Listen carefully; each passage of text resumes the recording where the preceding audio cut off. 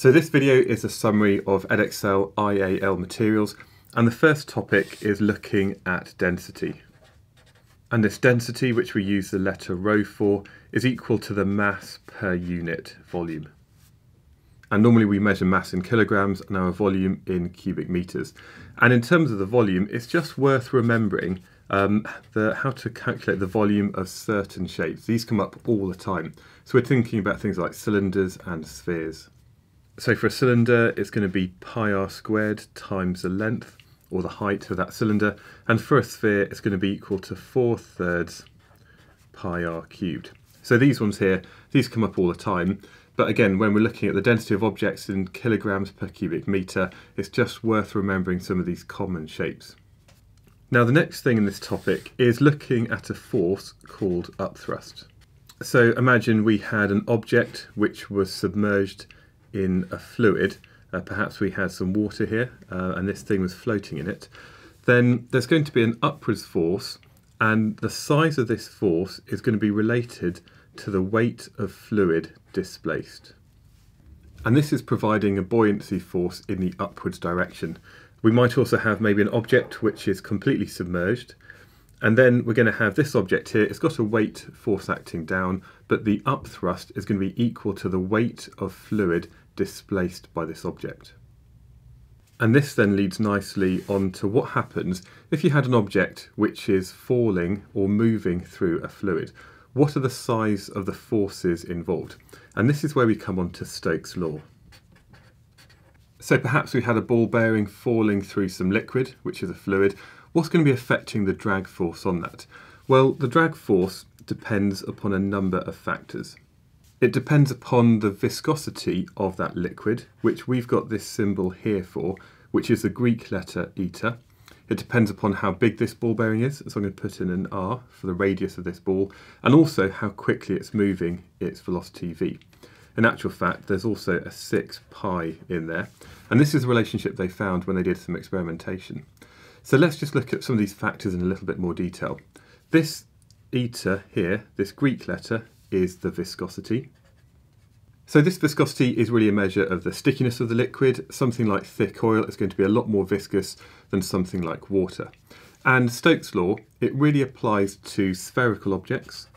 We're looking at things which are travelling at a relatively low velocity. And also what we have is laminar flow. And when we're talking about laminar flow, we're thinking about uh, things moving um, in an ordered way in that fluid, as opposed to turbulent flow, which is actually really kind of difficult to model and actually try and fit any equations to. So we're looking at laminar flow and not turbulent flow. And finally, the viscosity of the liquid also depends on temperature. Often when something is warmed up, its viscosity decreases. So let's imagine we had a ball bearing and maybe we've dropped it through a fluid. Uh, so this is a ball bearing over here there are going to be some forces acting on it. There's going to be a force acting down due to the weight of that object. There's going to be a drag force acting against it and we can work out the size of that drag force using Stokes' law. So this F here is going to be the drag force and there's also going to be the upthrust acting on that object which is equal to the weight of fluid displaced. And this is where we come on to one of the core practicals. And in Core Practical 2, what you can do is you can actually measure the viscosity of a liquid. And we do this by dropping a ball bearing through a fluid and letting it get to its terminal velocity. Now at its terminal velocity, there's going to be no resultant force on that object, and that means the weight force acting down is going to be equal to the drag force plus the upthrust. Now we can calculate the weight uh, from the mass of the object times the gravitational field strength, so weight equals mg. The upthrust is going to be equal to the weight of fluid displaced, and we can calculate this if we know the volume of this object and we also know the density of that liquid that it's falling through. And then the drag force is going to be equal to 6 pi eta rv. Again, we can record the value for the velocity by looking at measuring the time it takes to go through a certain distance uh, we know the value of r, the radius of that ball, and therefore the unknown in this equation is the viscosity, which can be calculated from dropping uh, ball bearings through a viscous fluid. So we've been looking at materials which are fluids, but now we can think about materials which are solids. And a great example of this is just a simple spring. And this brings us on to Hooke's law.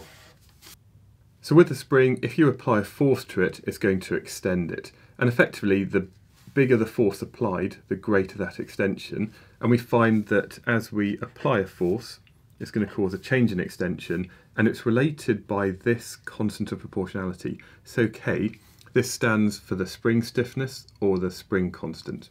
And effectively, if you double the force applied, we double the extension. So x is the extension, and that's the change in length of that spring. Now with a simple spring, provided we don't extend it too much, we can look at the relationship between the force and the extension of that spring.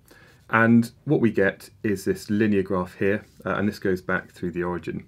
Now just by convention, we tend to have force on the y-axis and x um, the extension on the x-axis. And that means for this graph over here, the gradient is equal to the spring constant. Uh, and this has the units of newtons per metre. And when that spring has been deformed, it's storing energy in the form of elastic strain energy. And this is actually equal to the area underneath that line. And to work out the elastic strain energy, which is E with a little EL underneath it, uh, this is equal to the area under that line, which equals a half f delta x, because it's just the area of that triangle.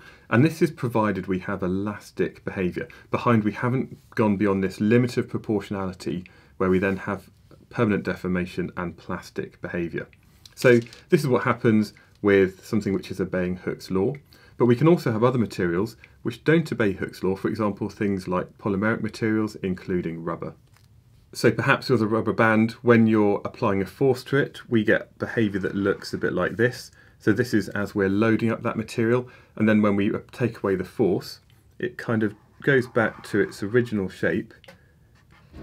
And what we might see is actually these two lines aren't quite the same. Now what that means is that effectively the area between these two lines in here, that's related to the increase in energy stored in this system. And effectively, this is why sometimes that if you have something which is deformed many times, especially things like rubber, they tend to increase their thermal store of energy as they start to heat up. So what you might have is you might have the linear behaviour where you've got a spring or a material that is obeying Hooke's law, or maybe you've got a different material where again we have the same type of graph, but we're now showing a different type of behaviour. If you actually had to calculate the amount of energy stored in one loading and unloading cycle, what you'd have to do on this graph here is actually count the squares. So these graphs look at certain objects, but we can also look at stress and strain, which are related to the material properties of that substance. Now stress often has the symbol sigma, and this is related to the force per unit area. Okay, so over here we just had the force. Now we're looking at the force per unit area applied in that material. Now we measure our force in newtons, our area in square meters, and that means the units for stress are pascals, or sometimes we tend to use mega or even gigapascals because we often have very small areas which are being um, having a force applied to. So often we're looking at MPa or GPa for the size of stresses inside materials. When it comes to strain, and that's equal to the change in length over the original length. Okay, so this is our extension over the original length, and because it's a ratio of two numbers, strain is a unitless quantity. So we've got stress and strain, which are quite different things.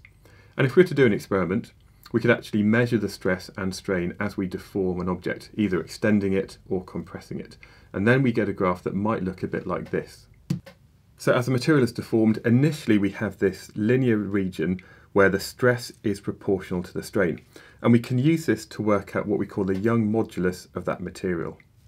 So the Young modulus is equal to the stress divided by the strain. Uh, and this Young modulus, it often has the symbol E. Often it's also called the engineering modulus. So that's just equal to the stress divided by the strain. Now again, because we've got um, the stress measured in pascals and strain is unitless, that means the units for the Young modulus are in pascals. And this is something which is specific to that material. So you might have the Young modulus of steel, and it doesn't depend upon the dimensions of the object that you're actually testing. So what we have over here is we have the stress is proportional to the strain until we get to this point over here. And this point over here is what we call the limit of proportionality. But if you keep applying a force, what we find is that we can get up to another limit which is just slightly beyond it. And this is where that material will still go back to its original shape. So just beyond the limit of proportionality, we have the elastic limit. So provided you take away the force, it will go back to its original shape. But what happens if you keep um, maybe uh, you keep this material under tension and you keep pulling it? Well, we get to a point where it actually starts to yield. And this point here is kind of the highest point on this line over here. And that's what we call the yield point. And effectively, this is where that material fails. It stops behaving in its normal normal way. If we kept on applying a force, actually what we find is that there's a point where the, stray, the stress drops slightly, but the material starts to extend a lot. And then we get to a point up here um, at a higher stress, and this is the point that we call the UTS, or the ultimate tensile strength. And effectively that's the maximum stress it can take. And if you go beyond that, what we then get is we get failure. And this point over here is the breaking stress. So this is a stress strain graph if you have a material all the way up to failure and we can see that um, as it's failing, even though there's only a small amount of extra force applied, we get a massive strain. Now the other thing uh, which might be worth noting occasionally is that the area underneath this line, just like it was the elastic strain energy when we looked at uh, maybe just a spring or something like that, now the area under this line on a stress strain graph is equal to the energy stored per unit volume.